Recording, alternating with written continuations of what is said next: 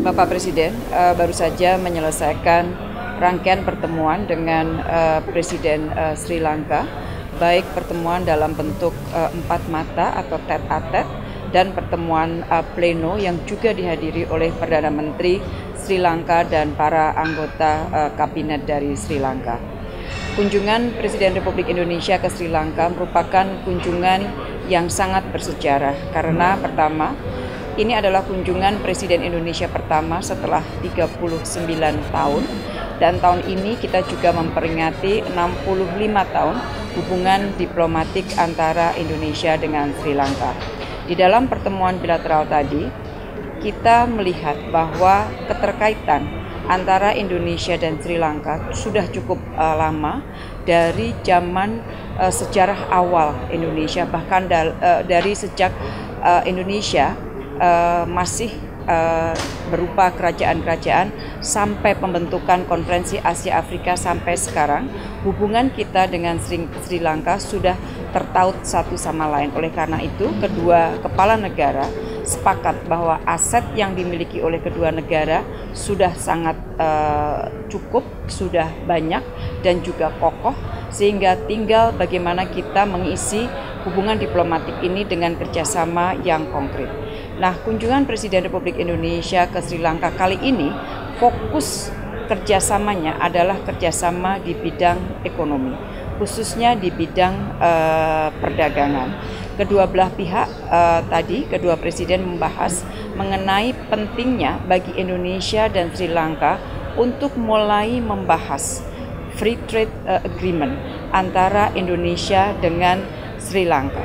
Kedua presiden juga sepakat akan membentuk Pokja uh, kelompok uh, kerja untuk uh, perdagangan dan investasi yang akan mensupervisi pelaksanaan kerjasama perdagangan dan investasi dan sekaligus menyelesaikan jika terdapat masalah yang terkait dengan perdagangan dan investasi. Selain itu, Presiden Republik Indonesia juga menyampaikan beberapa uh, usulan, misalnya kerjasama di bidang uh, perkereta apian PT Inka sudah beberapa kali melakukan pertemuan teknis dengan counterpartnya di Sri Lanka dan mudah-mudahan dengan kunjungan presiden ini akan ada tindak lanjut yang konkret uh, ekspor dari gerbong baik gerbong penumpang maupun gerbong barang dari PT Inka. Kemudian yang kedua adalah presiden juga menyampaikan ketertarikan Indonesia untuk ikut berpartisipasi di dalam pembangunan infrastruktur di uh, Sri Lanka.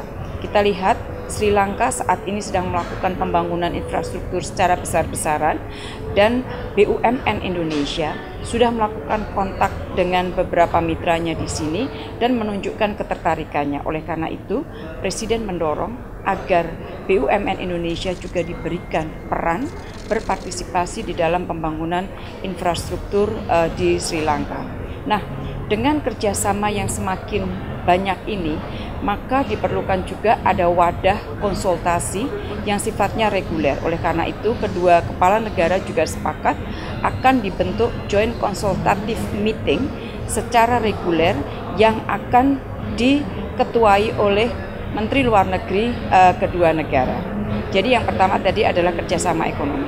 Kemudian isu kedua yang dibahas adalah mengenai masalah capacity building. Sejauh ini Indonesia sudah memberikan beberapa capacity building kepada Sri Lanka. Nah, di dalam pertemuan tadi beberapa hal yang disampaikan oleh Presiden Sri Lanka adalah antara lain mengharapkan agar jumlah siswa Lemhanas dari Sri Lanka dapat ditingkatkan. Dalam hal ini Presiden Republik Indonesia sudah merespons bahwa akan uh, menyampaikan hal ini ke Gubernur Lemhanas. Dan Presiden uh, setuju bahwa jumlah siswa dari Sri Lanka untuk Lemhanas akan ditingkatkan.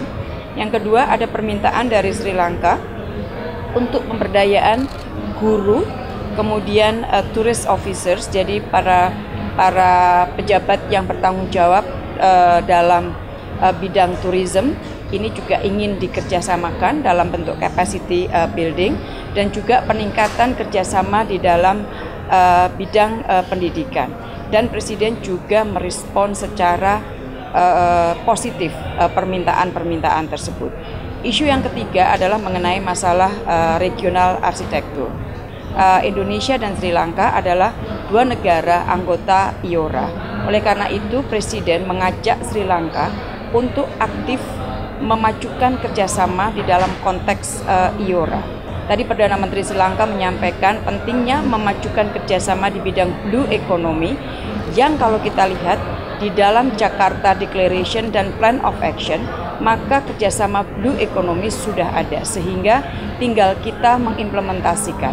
Kemudian di dalam regional arsitektur kedua negara sepakat bahwa konsep arsitektur kawasan yang ingin dikembangkan di Indo-Pasifik seharusnya bersifat transparan, terbuka, inklusif, dan juga didasarkan pada spirit kerjasama, uh, spirit of uh, cooperation, sehingga dapat diwujudkan sebuah kawasan Indo-Pasifik yang damai dan uh, sejahtera. Setelah pertemuan, uh, kedua presiden juga me, uh, menyaksikan penandatanganan tiga kerjasama, yaitu kerjasama di, di bidang uh, pendidikan tinggi, kemudian kerjasama di bidang search and rescue (SAR), dan yang ketiga adalah kerjasama penanggulangan uh, narkotika. Besok pagi Presiden akan berjumpa dengan Perdana Menteri dan saya yakin uh, dalam pertemuan dengan Perdana Menteri akan ditindaklanjuti beberapa uh, pembicaraan yang dilakukan pada hari ini dengan Presiden Sri Lanka. Dengan uh, pemimpin oposisi, intinya adalah pemimpin oposisi meminta agar Indonesia uh, aktif uh, memajukan kerjasama di bidang ekonomi. Jadi uh, sangat uh, sesuai dengan misi yang sedang dilakukan oleh Presiden dalam kunjungannya ke uh, Sri Lanka karena memang di masa yang lalu karena adanya konflik di Sri Lanka yang menyebabkan uh, pertumbuhan ekonomi tidak secepat yang diharapkan. Tetapi dengan sudah selesainya masalah, maka pertumbuhan ekonomi menjadi lebih baik, lebih baik. Pertumbuhan ekonomi di Sri Lanka lebih dari 4%. Oleh karena itu, prioritas pemerintah Sri Lanka saat ini adalah untuk pembangunan ekonomi dan uh, ketua oposisi mengharapkan agar Indonesia berpartisipasi di dalam pembangunan ekonomi Sri Lanka dan ini tentunya sangat disetujui oleh uh, Presiden Republik Indonesia. Nah, Sore tadi juga dilakukan pertemuan bisnis. Jadi ada 15 pengusaha dari Indonesia yang bertemu dengan kurang lebih 50 pengusaha dari Sri Lanka uh, melakukan pertemuan dan juga dilanjutkan dengan one on one.